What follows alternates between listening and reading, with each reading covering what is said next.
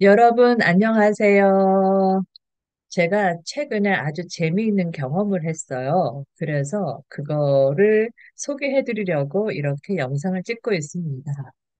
바야흐로 지난 10월 27일 금요일에 이런 일을 겪었는데요. 그날이 바로 우리 임영웅 서울 콘서트 첫날 공연이었잖아요. 서울 그 콘서트가 제가 기억하기에는 오후 7시 30분에 시작을 했죠. 그때가 로체스터 시간으로는 아침 6시 30분이었는데 저는 그때 운전을 하고 있었습니다. 왜냐하면 옆 동네에 갈 일이 있었거든요. 제가 한국학 관련된 뭐 심포지엄이나 이런 데 갈 일은 없었는데 어, 바로 옆 동네 버팔로에서 한국학 심포지엄을 하고 또 이런저런 어떤 이렇게 편의를 마련을 해주셔서 어, 가까우니까 어, 가려고 마음을 먹고 갔어요. 또 주제가 K-팝이에요. 아우, 주 목적은 당연히 제그 수업 목적이고요. 그리고 또 하나, 주 목적이 아니고, 어, 우리 학생들이 이 비디오를 보면 오해할 것 같은데, 주 목적은 우리 수업 때문에 그런 거고요. 그 다음에, 뭐, 부수적인 목적이라고 하면 저 안에 있는 저 사람이 물 때문에도 또 관심을 갖게 돼서 어, 봤는데, 하여튼 그날 아침에 막 새벽에 어둑어둑할 때 날도 안 좋아서 뭐 비도 오고 그랬거든요. 여러 번 가는 길에. 그래서 그 운전을 하면서 어, 가는 길에 아 오늘 콘서트 짤 찾아봐야지 모든 일정이 끝나면 찾아봐야지 뭐 이런 생각을 하면서 갔어요. 그런데 이제 심포지엄에 도착을 해가지고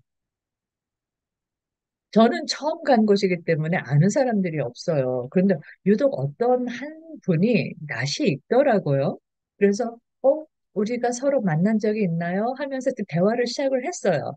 그런데 아무리 대화를 해봐도 우리가 만날 뭐 그런 뭐 스쳐 지나갈 인연이 아닌 거더라고요. 그래서 저는 아, 뭐 내가 잘못 봤나 보다 이제 이러고 있었는데 그분이 그날 발표를 하셨거든요.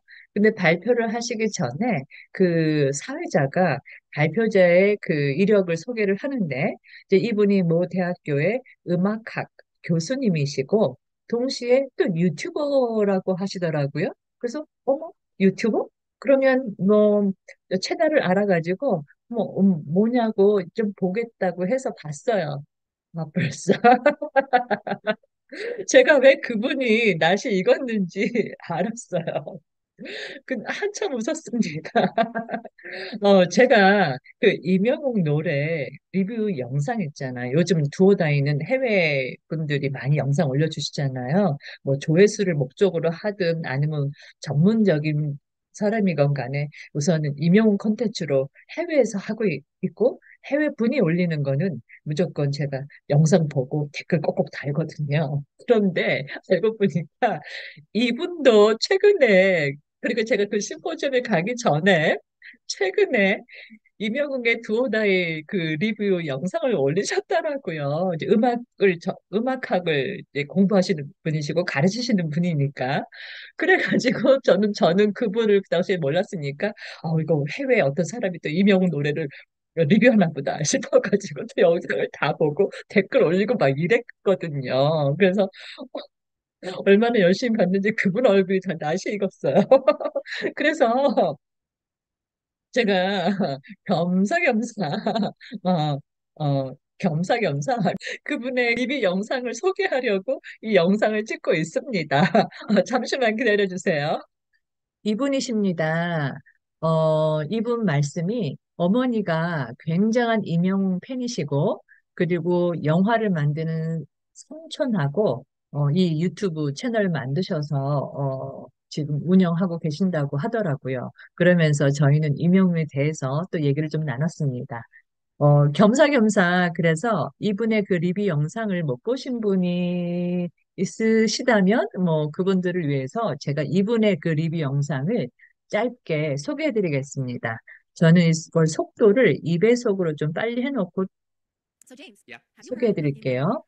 어, 초반에 두오 다이가 3세대 음악 장르 같은데 목소리가 참 대단한 가수 같다라고 얘기를 하고 있고, 그리고 우리 두오 다이의 그 검정색 의상 입은 모습이 멋있다고 했어요. 그리고 두오 다이의 그 안무가 이 배경 그 뮤직비디오가 우주잖아요. 우주선이잖아요. 그래서 그 우주에서 하는 파티 분위기가 난다고 얘기를 하고 있습니다. 어, 뭐 저는 그 SBS 그 케이팝 제가 지금 조금 전에 바탕 화면에 쓴 SBS 그 케이팝에 나왔던 이명호 의상도 좋고 그리고 요즘 서울 콘서트 짤을 보니까 하얀색 의상을 입고 있는 것도 멋있더라고요. 어, 우리 이명훈 코디님이 요즘 열일 하시는 것 같습니다. 자, 그리고 중간에 이 삼촌분께서 그 케이팝 아이돌 중에서 트로트를 부른 사람이 있냐라고 하는 질문에 이분이 BTS의 그 지니 슈퍼 참치를 부른 것을 언급을 하셨는데 사실 저는 그 노래가 그 트로트인지는 모르겠어요. 하지만 그 우리 임영웅이 송송악당에서 빅뱅의 대성의 그 대박이야를 커버한 거 있죠? 저는 그 노래 정말 좋아합니다.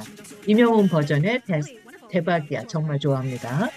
그리고 이제 삼촌이 트로트 가수가 케이팝 아이돌 노래를 부른 것이 어떻냐라고 하는 질문에 어, 이분께서 두어 다이의 그 소재 때문에 우리 그 우주를 우주선에서 찍은 어, 찍은 거잖아요. 뮤직비디오를. 그러니까 astronomical, 뭐 천문학적이라고 이렇게 대답을 하셨는데 사실 이 astronomical이라고 하는 표현이 천문학적이라는 표현도 있지만 정말 엄청나다라고 하는 의미도 있거든요. 그래서 이분이 참 그 두 가지 의미를 센스 있게 잘 표현을 하신 것 같아요. 그리고 두오 다이의 그 뮤직비디오 배경이 우주선인 것에 대해서는 그 우리 이명웅이 우주 덕후인 거는 모르시고 얘기를 하신 것 같긴 한데 뭐 이분 의견은 이명웅이 앞으로 새로운 장르를 노래를 부르려고 완전히 다른 그 색다른 뮤직비디오 우주선을 선택한 것 같다라고 얘기를 하셨는데 사실 뭐 우리 이명웅이 다양한 장르의 노래를 추구하잖아요. 그래서 그런 면에서는 뭐 어느 정도는 일리가 있다고 생각합니다. 그리고 또 보시면 트로트의 배경과 트로트 가수들에 대해서 이 삼촌분하고 계속 얘기를 하시는데, 이제 마지막으로 언급한 거는 임영웅의 그 두어 다이가 기존의 아이돌 노래와 다르다고 생각되지는 않지만, 그 임영웅의 목소리만큼은 정말 인상적이라고 얘기를 하고 있어요. 왜냐하면 보통 케이팝 아이돌들은 어떤 특정한 음색에 맞춰가지고 이 노래를 부르도록 트레이닝을 받는데 우리 임영웅은 그렇지 않잖아요. 임영웅은 굉장히 넓은 음역 대와 그 다음에 탁월한 발음 능력으로 굉장한 어, 실력의 아티스트다, 가수다라고 하는 걸 칭찬하면서 이 영상을 마무리하고 있습니다. 자, 그러면 오늘 영상은 여기까지. 감사합니다.